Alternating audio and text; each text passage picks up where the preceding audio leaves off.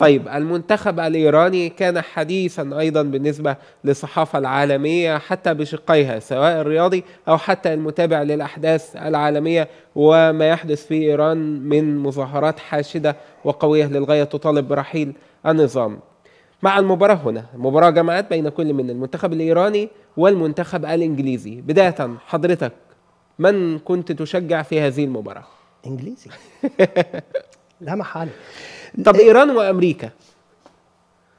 مشكلة يعني أولا أمريكا ليست فريق قوي ولا نعم. يعجبني أنا أداء الفريق الأمريكي بصراحة. يعني إذا قلت مثلا البرازيل نحن مع البرازيل. إذا نعم. قلت الأرجنتين ولكن آه، الولايات المتحدة الأمريكية حقيقة نحن كشعوب لا نقبل آه، أن يسيس الرياضة نعم. ولكن نرى حقيقة أن الولايات المتحدة الأمريكية هي لم تفصل ما بين الرياضة وما بين السياسة صحيح. نحن كشعوب لا نرى أن الولايات المتحدة الأمريكية حتى لو وقفت أو تقاطعت في بعض يعني الأمور مصالحها مع مصالحنا ولكن لا ننسى أن الولايات المتحدة الأمريكية هي التي تكرس الآن بقاء الدكتاتوريات الولايات المتحدة الأمريكية هي التي تريد أن تفرط بحق الدولة الفلسطينية آه، التي نسأل الله عز وجل أن يكون انتصارنا قادم فيها.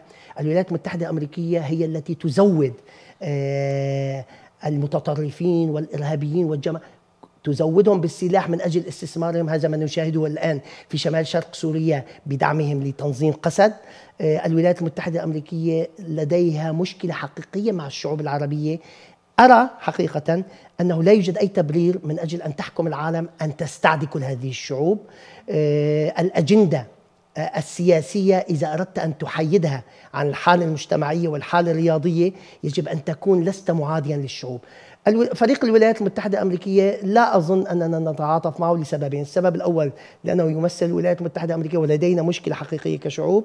والسبب الثاني أنه فريق يعني لم يبهرنا يوما ما ولا نشعر أنه يعني يمكن أن يكون فريق يعني يعني نخسر إذا لم نتعاطف معه. بالنسبة لإيران نحن يعني مع الشعوب العربية نحن مع الشعوب المسلمة النظام في إيران نظام فاجر.